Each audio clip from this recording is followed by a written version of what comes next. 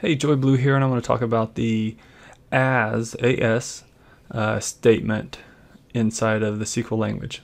It's also called aliasing. Well, in this case, what I want to do first is I want to look at the employee table. And I want to use the as statement on the employee table. So I'm going to say as employee table 1. Or I'll just say E1 for the employee table, the first employee table. So if I do that, then I can take and put the E1 in front of the star. And so I can get everything from the E1 table. And so now I can refer to the employee table as E1 wherever I refer to it. So if I want to group by the job and I want to sum the salaries,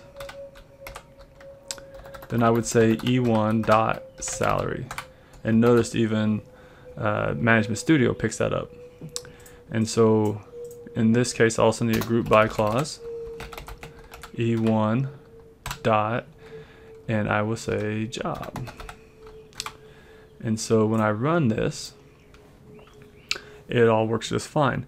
And notice I don't have a column name, so I can use the as statement. So I can say as, and I can say sum of salary. And so I've also aliased the column here. And so when I run this, you can see I now have a column name on that column. So that's an introduction into the as statement, which is also known as aliasing inside of the SQL language.